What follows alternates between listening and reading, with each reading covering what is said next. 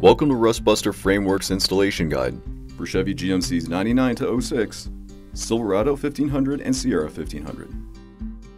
Before you begin, if you're uncomfortable performing any of the processes listed in this guide, then we strongly suggest you seek the work of a professional.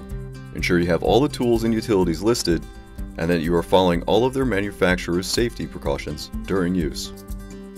Step 1. Disconnect your vehicle's battery.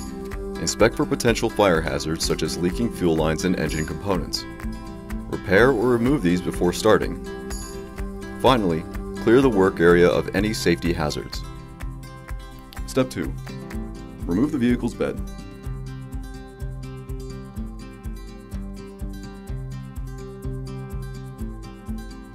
Step 3. Cut off the four rivets holding the crossmember to the frame, followed by knocking the remaining portion of the rivets out with an air hammer.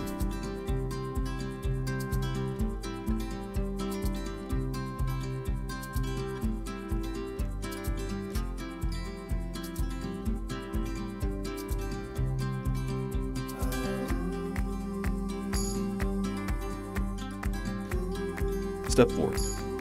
Once the cross member is removed, clean up the area so it's ready to install the new part by grinding away any rust or debris.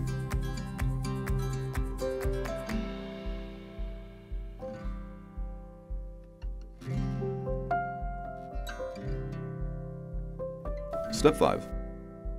Place the new part into place by lining up the holes and installing the supplied M10 nuts and bolts.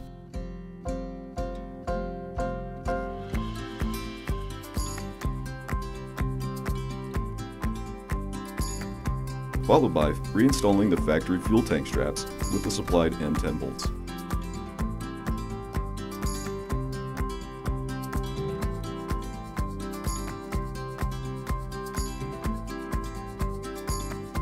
Finally, paint the part with a paint of choice to help prevent against future rust development.